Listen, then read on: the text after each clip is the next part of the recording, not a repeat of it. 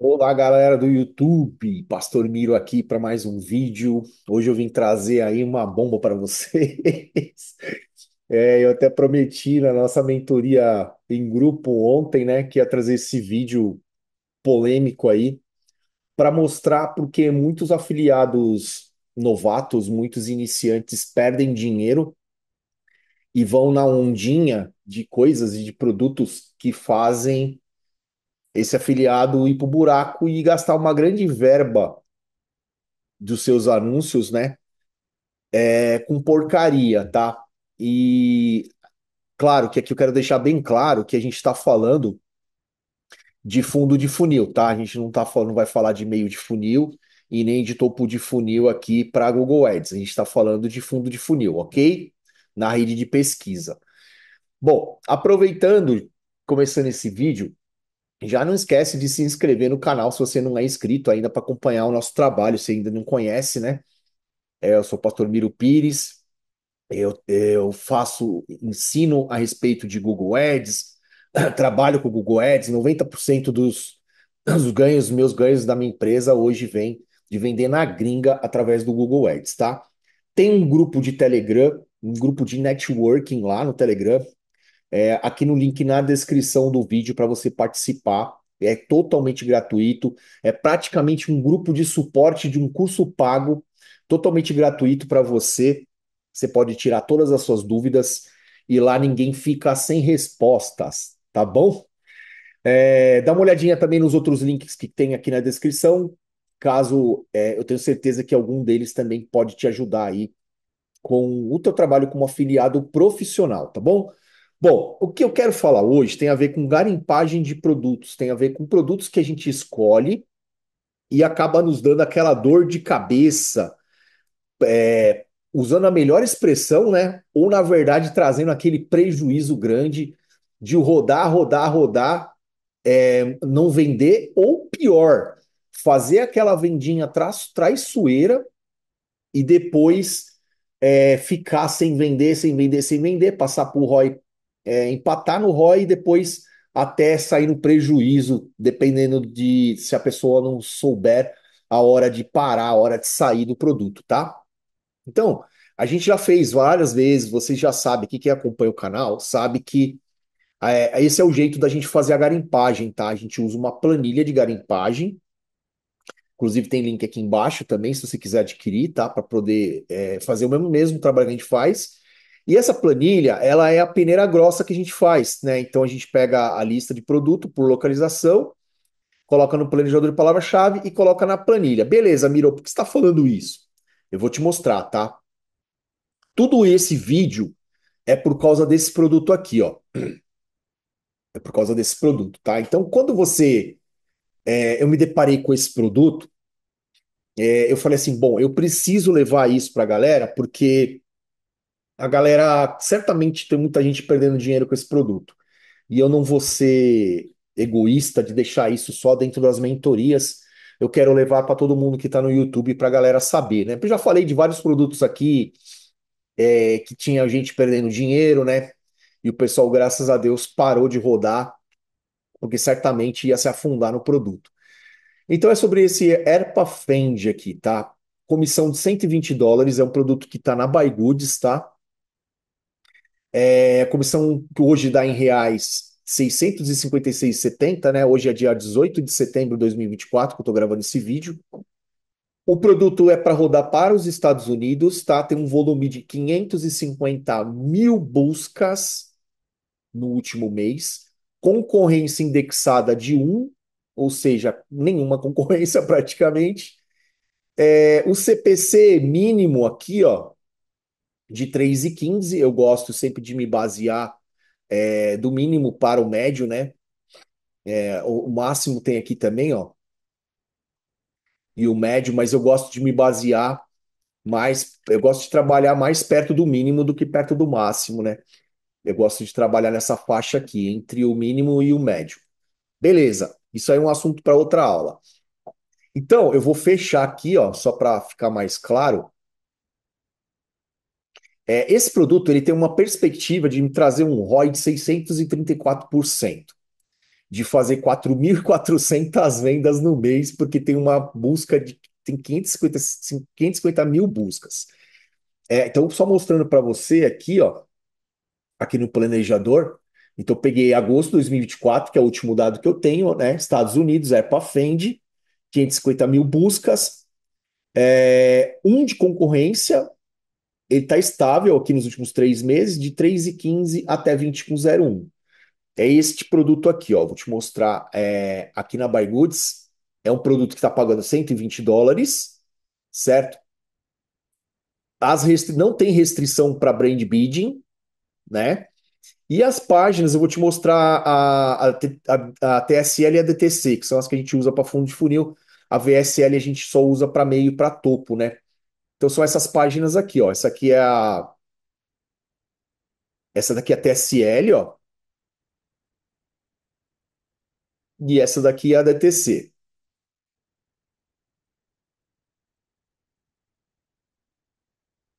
Essa daqui é a DTC. Tá? Beleza, Miro. Ah, então vamos ver. Produto é para quê, né? Aí agora a gente vai para aquela parte da peneira fina que a gente fala, né? A gente vai para essa peneira fina aqui. A gente vai ver se o nome é exclusivo, é, como é que tá essas outras paradas. Então, beleza. Vamos olhar se o nome é exclusivo, né? Então a gente vai jogar aqui, ó, Airpa Fendi. É, detalhe que aqui tá só para os Estados Unidos, ó, mostrar para vocês, ó, tá aqui, ó, gel liberada somente Estados Unidos, tá? Então, por isso que eu estou colocando Estados Unidos lá.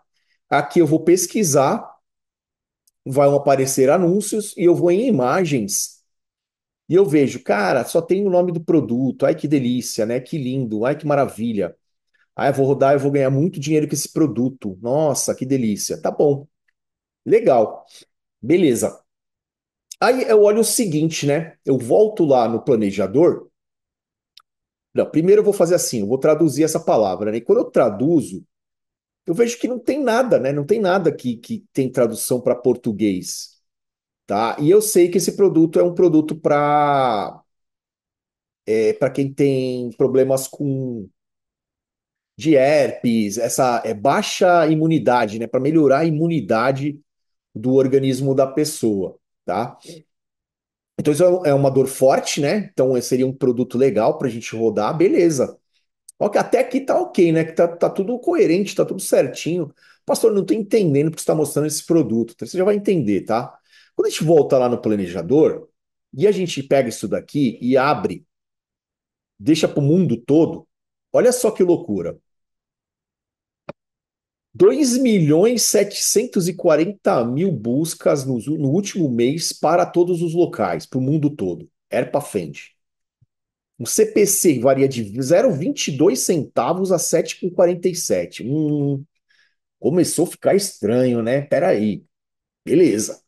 Um, um, um, afiliado iniciante aqui já ia tomar o toco, né? Já ia já, nossa, pastor, encontrei um produto que vai me fazer milionário. Beleza. Vamos estudar mais a respeito. Então, o que que eu fiz, né? Aí eu vim aqui, ó, no chat GPT e no Gemini e fiz a seguinte pergunta para ele. Falei assim, ó, Erpafend em inglês dos Estados Unidos é o nome de um produto exclusivo bom para ser anunciado no fundo funil do Google Ads ou remete a outras coisas que não tem nada a ver com esse produto? Aí ele falou assim, é o nome de um suplemento, tá, tá, tá, tá, tá, tá para herpes, né? No contexto de Google Ads, usar o nome era para frente parece adequado, especialmente para campanhas voltadas a fundo de funil ou remarketing, considerando que o público-alvo provavelmente já tem algum conhecimento interesses voltados para o controle de herpes, tal, tal, tal, tal, tal. Então ele está dizendo, pô, legal, tá ok, tá? Vai, manda ver aí que vai dar tudo certo. É o que ele está dizendo. E aqui o Gemini, é a mesma coisa, né? Então o Gemini está falando assim. É, o termo Epafend parece ser um nome inventado e não está associado a nenhum produto ou marca re é, reconhecida. É uma busca aprofundada em bancos de dados, não revelou nenhum registro de Epafend, tal, tal, tal. É, se, sugere que o termo pode ser sido criado para fins específicos, ou seja, pode ser um nome específico realmente. Ele está falando, né, para a gente verificar a ortografia, se tem algum erro. Então, até aqui, ele está falando que sim, né, é um nome que ele, ó, se não for possível encontrar informações específicas, considere utilizar termos mais genéricos, tal, tal, tal. Então ele está tá querendo dizer que sim, até aqui está tudo ok. Beleza. Aí eu fui mais a fundo, né? Aí eu fui no planejador, quando vocês viram que eu coloquei é, último mês mundo todo, e aí eu coloquei assim, ó, cara, mas no planejador de palavras-chave do Google Ads, esse termo, ERPA-FEND, teve 2 milhões 740 mil buscas no último mês, no mundo inteiro. Por isso estou desconfiando que pode remeter algum termo topo de funil, porque o CPC variou de 22 centavos a 7,57. Aí ele me, olha que ele me responde, a quantidade impressionante de 2, mil, 2 milhões 740 mil buscas pelo termo ERPA-FEND no último mês e a grande variação de CPC de 0,22 a 7,57 pode indicar que esse termo está sendo buscado por pessoas em diferentes estágios de funil de vendas, embora ERPA-FEND seja, esteja fortemente associado a um suplemento voltado ao controle de herpes. Ele coloca aqui até ó, o site, tá? Ó, ele coloca o site, que é o site do produto, tá? Beleza. É, o volume de buscas pode sugerir que a palavra tenha sido identificada com texto, com textos diferentes, talvez como resultado de campanhas de marketing em massa ou até mesmo confusões com outros termos. Esses fatores podem fazer com que a palavra apareça em pesquisas do topo de funil, onde usuários ainda estão explorando soluções gerais, o que significa o CPC mais baixo. Já os CPCs mais altos podem refletir buscas feitas por pessoas já prontas para comprar o produto. O que, que ele está dizendo? Pode ter uma galera que está pesquisando esse termo, confundindo para topo de funil, e que está dando a parte do CPC baixo, e a parte do CPC alto está sendo pessoas que estão buscando pelo nome específico do produto. Beleza, até aqui, ok. Aí, olha o que Gemini fala, ferramenta, inteligência artificial do próprio Google, tá? Eu falei a mesma coisa para ele aqui, ó. Aí ele me falou: é extremamente improvável que o termo ERPA-FEND tenha 2, mil, 2 milhões 740 mil buscas mensais no mundo inteiro. Esse volume de busca seria comparável a termos extremamente populares e genéricos como celular ou viagem. Olha que bizarro. Aí ele me fala pior, tá? Por que desconfiar desse dado? Ele fala assim, ó, flutuações no planejador de palavra-chave. O planejador de palavras-chave do Google Ads é uma ferramenta estimada e os volumes de busca podem variar significativamente. É possível que haja algum erro na ferramenta. Ele está dizendo que a própria ferramenta dele está errada, tá? Ou que o termo tenha sido pesquisado em conjunto com termos inflando o resultado. Termo inusitado. ERPA-FEND não parece ser um termo comum em nenhum idioma. A falta de contexto e a natureza inventada do termo tornam o volume de buscas extremamente suspeito. A grande variação de CPC pode indicar que o termo está sendo disputado por diversos anunciantes, não é o caso, porque lá está concorrência 1, mas também pode ser um sinal de que a qualidade dos sites estão ranquea é, que estão ranqueados para esse termo é baixa.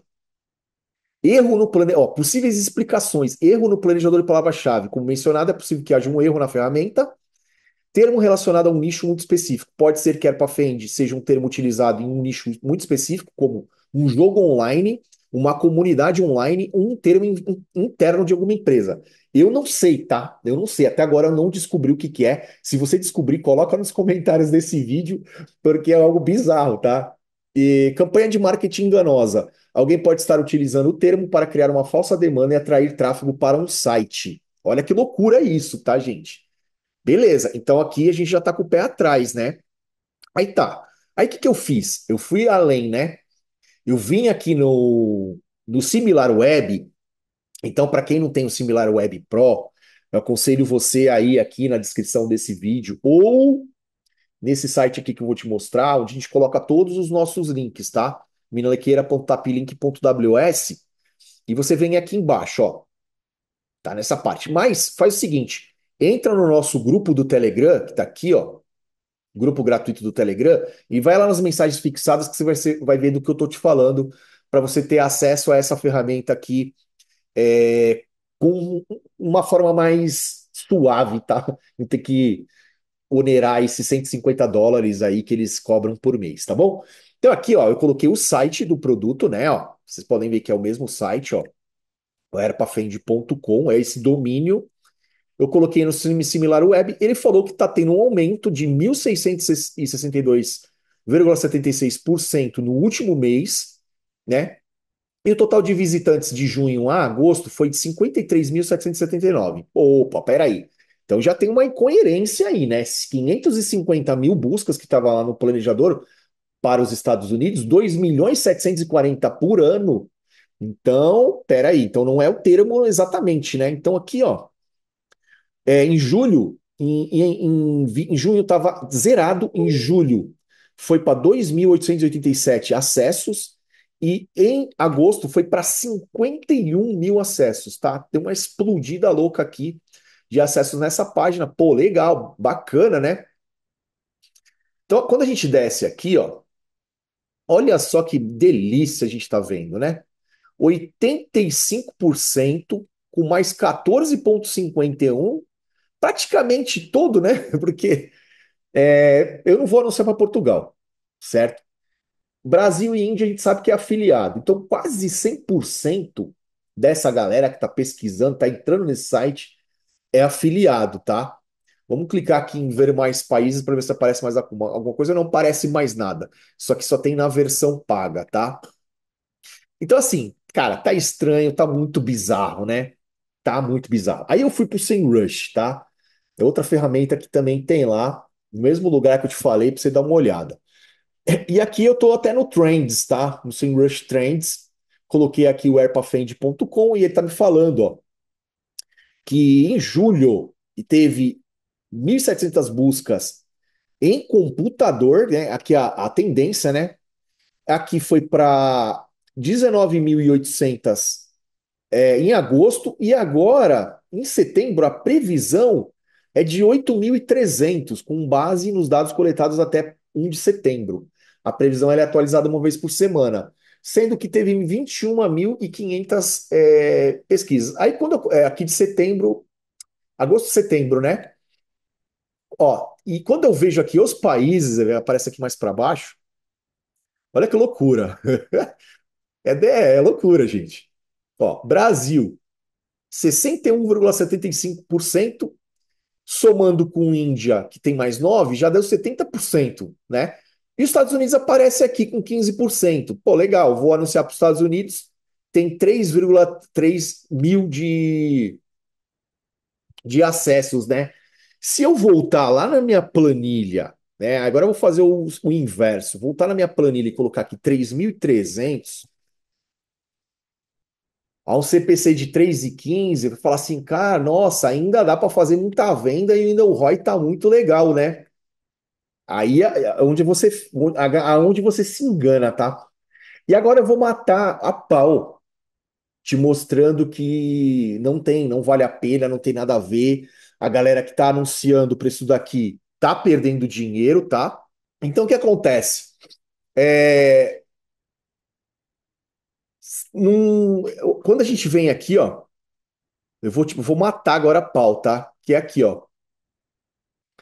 Eu vou abrir o gráfico, ó. Olha, que, olha o que eu coloquei aqui. Eu até adicionei isso daqui. Não tinha. Eu coloquei aqui, ó. Incoerência gráfica, planejador de palavras-chave. Comparar com o SimilarWeb e o SEMrush, que acabei de ir lá e acabei de ver qual a quantidade de acessos que tem no produto, na página do produto. Agora eu estou voltando para o planejador para te mostrar o seguinte, ó. Agora eu vou abrir o gráfico, eu vou colocar aqui todos disponíveis. Eu tenho aqui desde setembro de 2020, tá? E eu vou colocar aqui, ó, o gráfico. Olha só isso aqui, ó. De 2020 até agora, olha a constância que tem essa parada aqui, ó. Então já deu para ver que esse não é uma palavra fundo de funil, tá? Tá remetendo a algum outro termo que eu não sei ainda o que é. Se você souber novamente, coloca aí nos comentários, tá? Mas esse seria um produto que eu não subiria, eu não subo, não vou subir para a estratégia fundo de funil por causa disso que eu estou te mostrando. Então, quando você vê um volume de buscas muito grande, você vê um CPC variando demais, é que nem a, o caso aqui dos Estados Unidos, ó, que é para onde é o produto,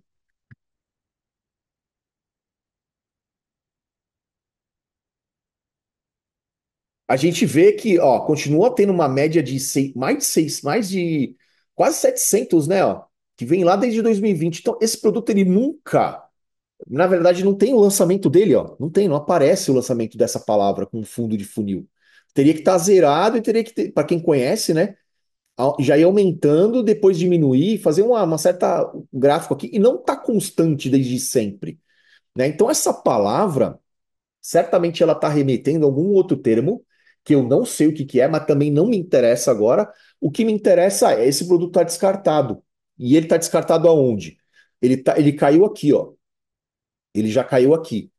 Né? Ele, ele não é não é um nome exclusivo, eu descobri através disso daqui, tá? Então, na minha peneira fina, eu não subiria esse produto. Eu não subiria esse produto. Então, galera, o que eu estou querendo mostrar para você nesse vídeo, tá? E se você for ver, ó, se você vier aqui, ó, no Offer Vault e colocar, você vai ver, ó, que esse produto, ele tá na Smash Lounge, paga 115 dólares de, de comissão. Ele tá na Guru Media, paga 110. Ele tá na Profits NXT, paga 100. Ele tá na Clix ADV, paga 100. Ele tá na 365 Conversion, ele paga aqui diferenciado, eu não sei como que é, por que que eles pagam baixo aqui, não sei. Eu não tenho cadastro nessa plataforma. 55 e 40, tá? Então, galera, o que eu tô querendo mostrar para vocês é isso aqui, né? Galera que vem só aqui, olha, nossa, que delícia, pastor. Eu achei o produto dos meus sonhos. E olha aqui, ó, nós tem um monte de gente anunciando, né? Está anunciando? Olha, porque está vendendo, né? Significa que você não vai vender? Não, significa que não vai vender. Mas isso daqui, na hora que a gente coloca a planilha, a gente tem que tomar cuidado, porque é, esse produto ele está te iludindo, né? Essa palavra-chave ela está nos iludindo. E eu mostrei também, já falei a respeito disso, vou, vou voltar a falar novamente, o que aconteceu com a gente. É, Para quem conhece o Provadente, né? O Provadente é um outro produto que está em diversas plataformas. Está na, na ClickBank, na Buyboods, está tá na Gurumedia, está na MaxWeb, ClicksADV. Quando, quando esse produto lançou, a gente subiu esse produto assim, bebendo água limpa mesmo. A gente subiu bem no comecinho. Só que o que, que acontecia com o Google? E está acontecendo até agora, tá? E está acontecendo até agora. O nome do produto já é conhecido, já aparece lá nas buscas do, Google, tudo direitinho. Mas olha só que loucura isso daqui, ó. Eu vou colocar duas palavras aqui que só muda uma letra, uma vogal, ó. Providente e providente, tá? Eu vou colocar aqui, ó. Certo? E aí, ó, só apareceu Providente, ó. Providente ele não me mostrou. Aí eu vou colocar aqui, ó, só Estados Unidos.